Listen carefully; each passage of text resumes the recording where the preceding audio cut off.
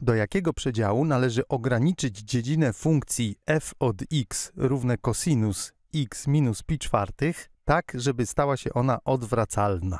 Widzimy narysowany już wykres funkcji cosinus x minus pi czwartych. Wiemy, że tak ten wykres wygląda. Zastanówmy się najpierw, co to znaczy, że funkcja ma być odwracalna.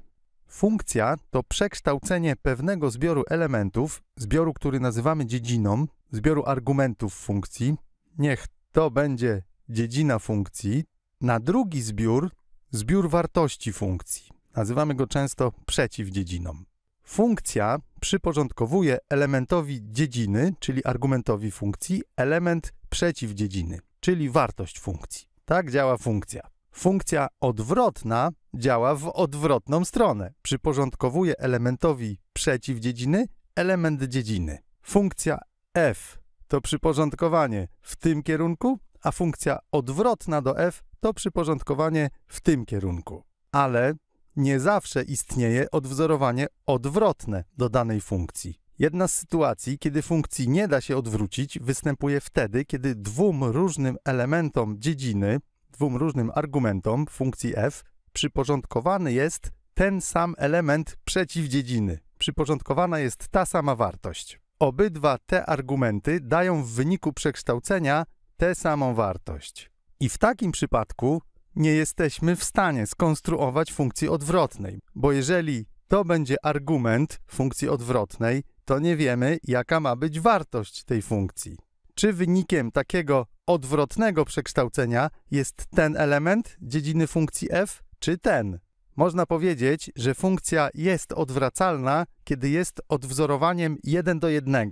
Dla każdej wartości funkcji, dla każdego elementu przeciwdziedziny istnieje tylko jeden argument, który w wyniku przekształcenia daje tę konkretną wartość funkcji. Można podejść do tego zjawiska w sposób graficzny. Możemy na wykresie funkcji, którą chcemy odwrócić, narysować poziomą prostą i sprawdzić, czy przecina ona wykres funkcji więcej niż jeden raz. Jeżeli da się taką wielokrotnie przecinającą wykres prostą narysować, tak jak w przypadku naszego rysunku, to mamy problem. Dlaczego? Bo dla dziedziny tej funkcji, a właściwie dla tej części dziedziny, którą widać na tym wykresie, istnieje więcej niż jeden argument, któremu ta funkcja przyporządkowuje tę samą wartość. W tym przypadku jest to wartość 0,5. Dla tego argumentu wartość funkcji wynosi 0,5, dla tego argumentu wartość funkcji wynosi 0,5 i dla tego argumentu również wartość funkcji wynosi 0,5. Jeżeli dla więcej niż jednego argumentu funkcji, czyli elementu dziedziny, otrzymujemy tę samą wartość funkcji, to dla tej dziedziny funkcja nie jest odwracalna.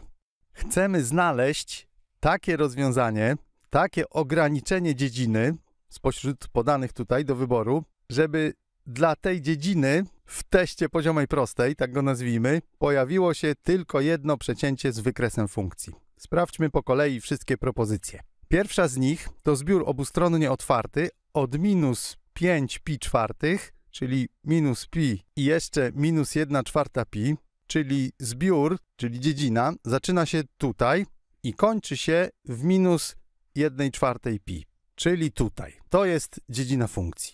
Punkty końcowe nie należą do tego zbioru. Zastosujmy test poziomej prostej. Można znaleźć taką prostą, poziomą, która pokazuje, że istnieją dwa różne argumenty w tak ograniczonej dziedzinie, dla których wartości funkcji są równe, czyli które funkcja przekształca na ten sam element przeciwdziedziny. Czyli gdybyśmy chcieli zbudować funkcję odwrotną do takiej funkcji z dziedziną ograniczoną w ten sposób, tutaj byłby argument tej odwrotnej funkcji, minus 0,6, to nie wiedzielibyśmy, jaka jest wartość tej funkcji. Czy jest to ta wartość tutaj, czy jest to ta wartość? No bo niby skąd mielibyśmy to wiedzieć? Takie przyporządkowanie nie byłoby jednoznaczne. Wykreślamy pierwszą odpowiedź.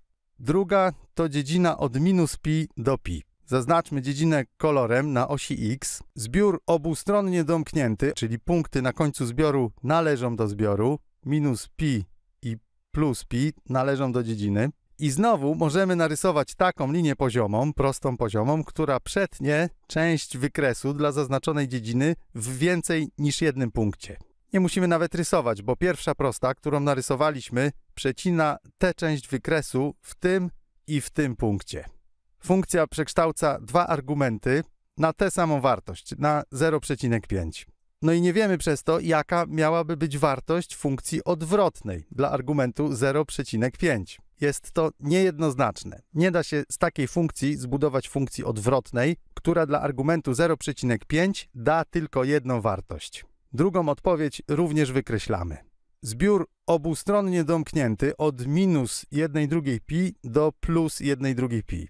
Tutaj mamy minus 1 drugą pi, tutaj plus 1 drugą pi. Taka jest tym razem dziedzina funkcji, którą chcemy odwrócić. Ten przypadek jest trochę ciekawszy. Jeżeli narysuję poziomą prostą tutaj albo tutaj, to jest ok. Ale jeżeli narysuję poziomą prostą tutaj, powyżej tego punktu, to przecina ona wykres funkcji dwukrotnie.